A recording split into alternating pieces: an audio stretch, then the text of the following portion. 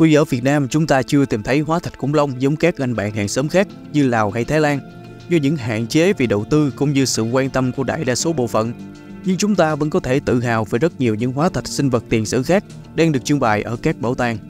Ngày hôm nay các bạn hãy cùng Ojasa điểm qua những loài sinh vật tiền sử nào từng xuất hiện ở Việt Nam nhé.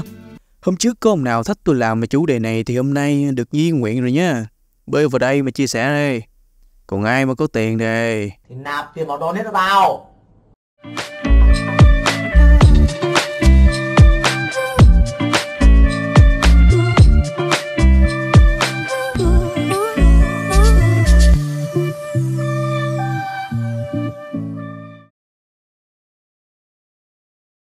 Vượn khổng lồ Gigantopithecus blakey Gigantopithecus blakey là một chi vượn người tồn tại từ 9 triệu năm cho đến 100.000 năm trước ở khu vực ngày nay là Trung Quốc, Ấn Độ, Thái Lan, Indonesia và Việt Nam.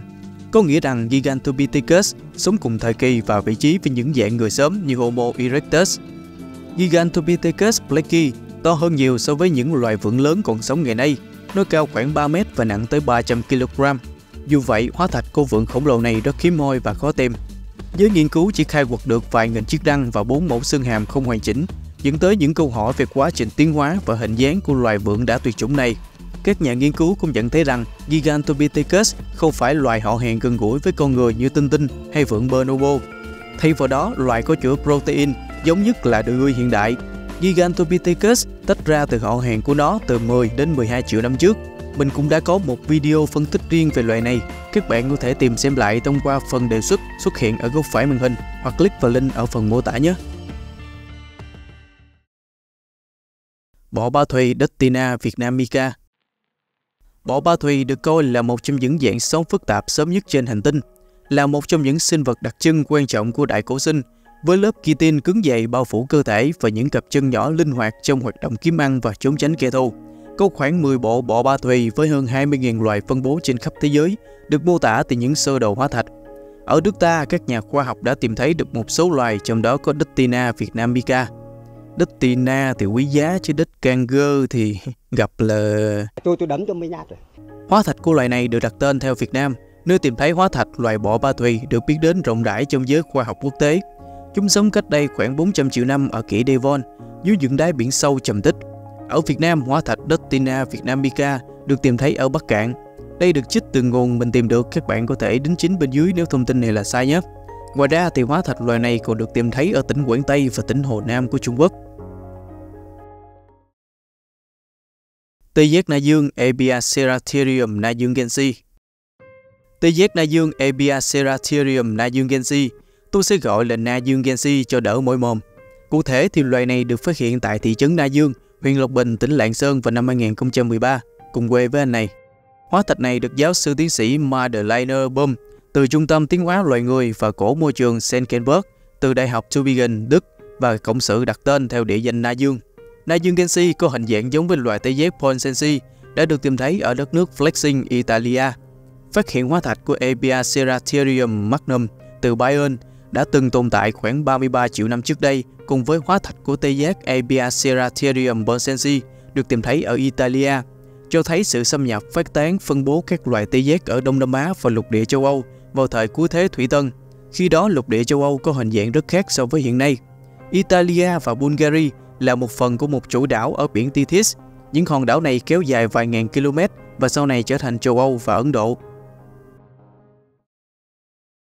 Rùa Giatochilis baba vào những năm 2023, nhóm nghiên cứu đến từ Đức lại tiếp tục công bố loài rùa mới đến từ Na Dương, huyện Lộc Bình, tỉnh Lạng Sơn, cùng quê với anh này.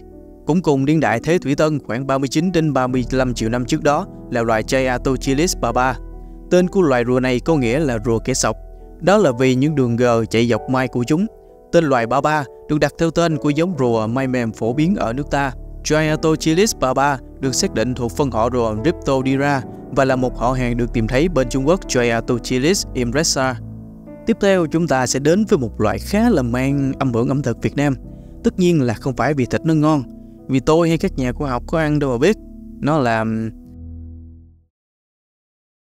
đùa cạn bánh xèo chilis Janie.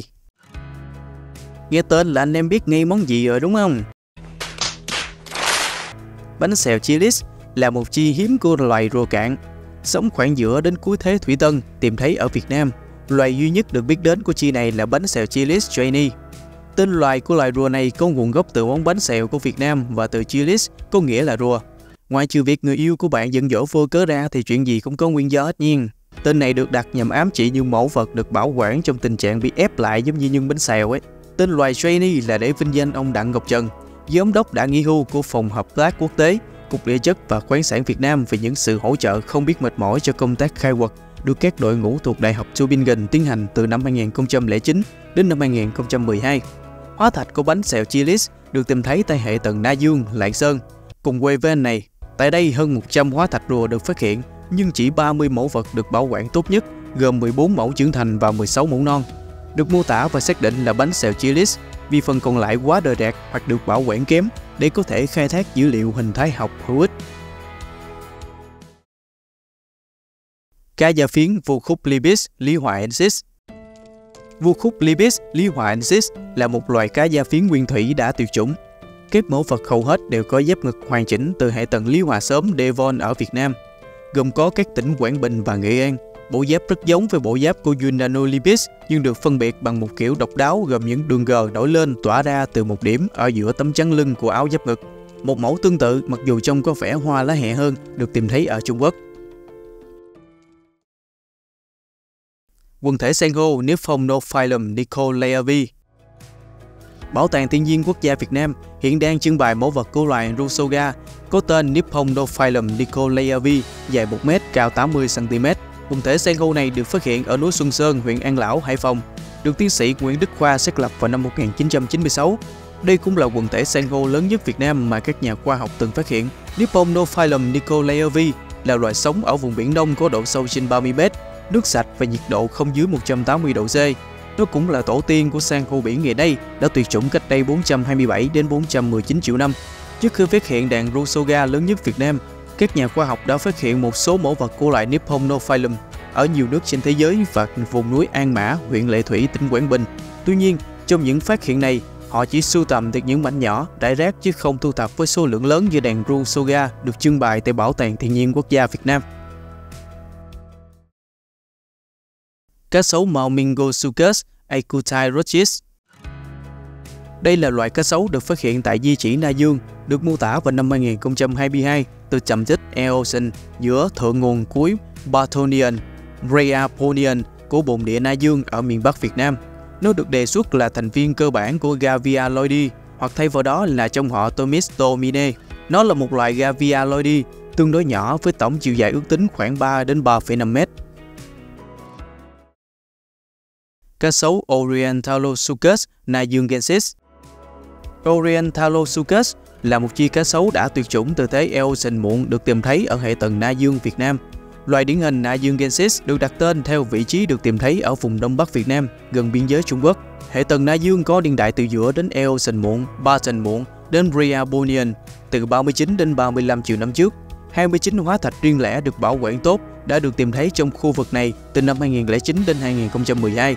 Chi mới Orientalosuchus đã được đặt tên và nghiên cứu vào năm 2019 của Masone Ito, cũng bao gồm một số loài cá sấu tuyệt chủng khác ở châu Á. Phân tích phát sinh loài cho thấy tất cả chúng đều có liên quan chặt chẽ với nhau và cùng nhau tạo thành một nhánh đơn ngành mới được đặt tên là Orientalosuchina với tư cách là thành viên cơ bản của Ali, không phải Ali này, mà là Ali Gathoroides. Mẫu cúc đá Dumortiaria iantenosi một cúc đá Ammonoides có tên khoa học là Dumortieria iantenosi thuộc ngành thân mềm Mollusca, lớp chân đầu Cephalopoda, phủ lớp cúc đá Ammonoides. Đây là loài bản địa được phát hiện và mô tả ở vùng đập thủy điện Trị An, tỉnh Đồng Nai, đặc trưng cho các trầm tích biển bậc Toa. Mẫu được mua lại từ bộ sưu tập cá nhân của ông Hoàng Thành, trú tại thành phố Buôn Ma Thuột, tỉnh Đắk Lắk vào năm 2010.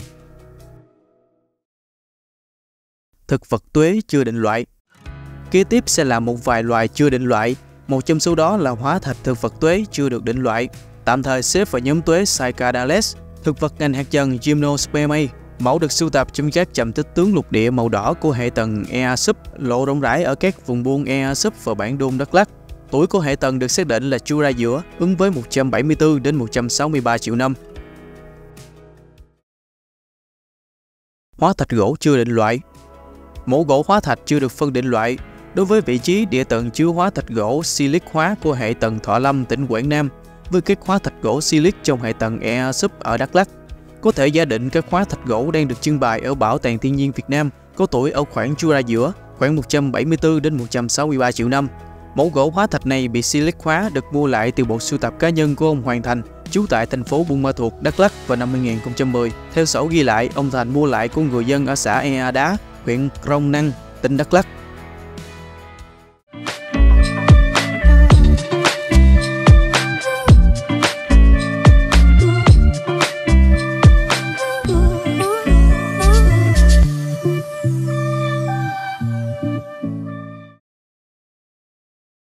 Các bạn thấy sao về chủ đề này? Thực ra vẫn còn rất nhiều loại khác, nhưng mình sẽ làm thêm ở các phần tiếp theo nếu các bạn ủng hộ video này.